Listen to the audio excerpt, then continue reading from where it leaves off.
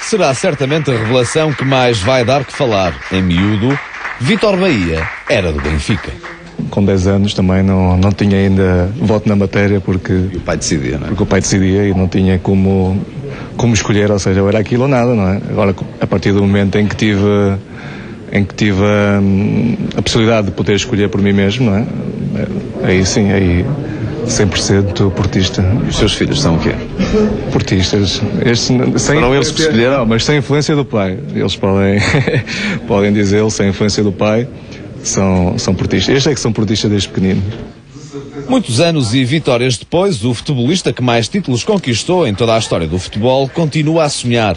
Gostava e tem esperança de voltar a vestir a camisola da seleção.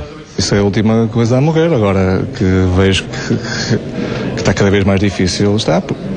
E, e sem explicação, porque não, continua a não encontrar explicação eh, para tal. Eh, o selecionador eh, esconde-se por trás das opções e, eu não, e, e pronto, e são as opções. E serão assim até, até que ele se vá embora, porque não, não há outra explicação possível. Eh, e a minha resta-me é continuar a desfrutar com aquilo que faço e ajudar o meu clube a vencer. A autobiografia de Vítor Bahia é um livro com alguns capítulos em aberto, já que o guarda-redes só deixará os relevados quando não tiver vontade de treinar. E, pelos vistos, ainda está longe a hora do adeus.